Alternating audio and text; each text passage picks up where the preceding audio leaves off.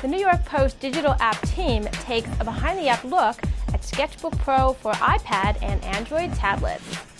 This iPad app features a multi touch interface on a 1024 by 768 pixel canvas.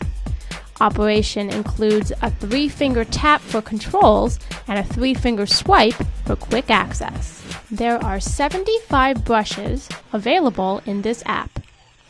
There are also draw styles to create lines and circles and 10 levels of undo and redo capabilities. Sketchbook Pro features six layers, including the ability to import layers from the photo library. Sketchbook Pro's gallery allows you to store works in progress, email images, or export as a layered PSD file. We put this app to the test with the New York Post digital app team graphic designer, Jim Crosley.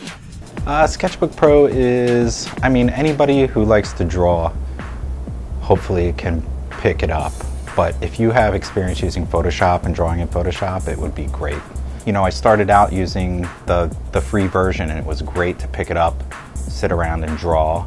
And then I upgraded to the, um, the paid version and pretty much like all the best features are in the paid version. The workflow that I imagine for myself would be to develop ideas on the go. We spoke to Chris Chung, the product line manager for Sketchbook Pro. So I think the most important thing about our Android and our iOS apps are we really build all of the Sketchbook family off of the same engine.